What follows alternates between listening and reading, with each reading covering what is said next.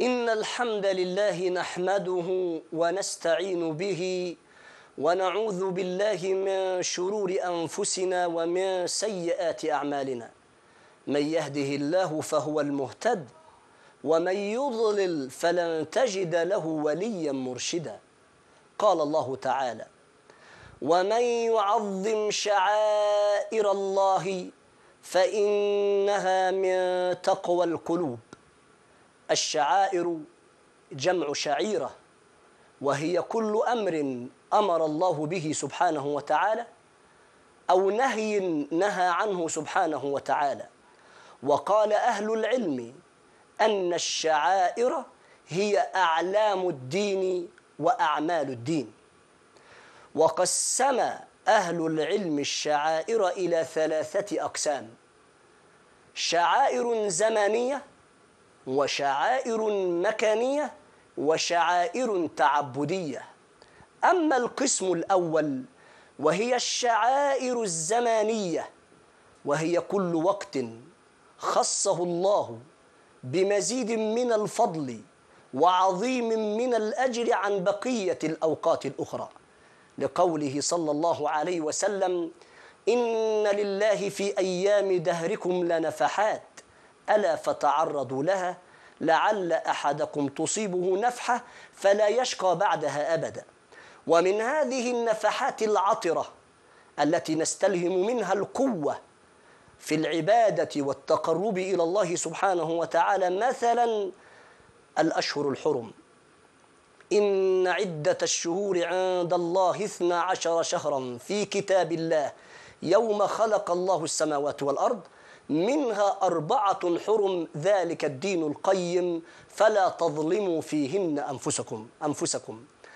هذه مثلا شعائر زمانية عظم الله هذه الأوقات وهذه الأشهر الحرم عن بقية الأشهر. ففيها آداء العمرة وفيها أداء فريضة الحج حج بيت الله الحرام الحج أشهر معلومات من هذه الأشهر وهي أحد الأشهر الحرم شهر ذي الحجة الذي فيه فريضة الحج وهذا الوقت يعظم زمانا. أيضا ومن الشعائر الزمانية ما كان من فضل العشر الأوائل من شهر ذي الحجة لقوله صلى الله عليه وسلم ما من أيام العمل الصالح أحب إلى الله فيها من هذه الأيام أن يقصد الأيام العشر الأوائل من ذي الحجة. ما من أيام العمل الصالح أحب إلى الله فيها من هذه الأيام.